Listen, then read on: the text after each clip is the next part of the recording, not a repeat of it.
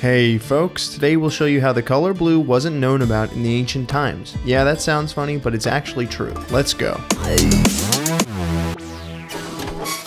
It's really hard to imagine because for us, blue is just blue. We don't really think about how we call the color that and why. All the more strange, therefore, is that people a few hundred years ago did not know this color as we now know it today. Looking at the old languages, the word blue didn't exist in any form whether in Chinese, Japanese, Greek, or Hebrew.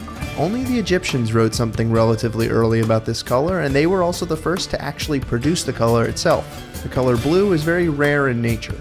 With the exception of sky and sea, most cultures didn't find it necessary to name this color. The sea is described as dark wine in the Odyssey by Greek poet Homer.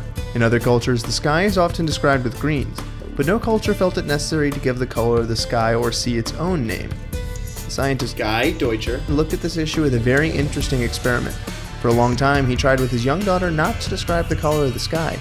Eventually, he asked her what the color of the sky was, and she responded with white. Only after that did he tell her that the sky is blue, and she realized it was a color all of its own. As to why this is, the whole thing is still a little unclear. But another exciting experiment shows that maybe people just didn't know how to describe it. Jules Davidoff used the people of the Himba as evidence with this circle filled with colored squares. They saw no difference between the blue and green squares. He then showed them this circle where the square had a different shade of green than the others. Here they recognized the difference immediately. The experiment shows that while they didn't recognize blue, they could distinguish between many different shades of green.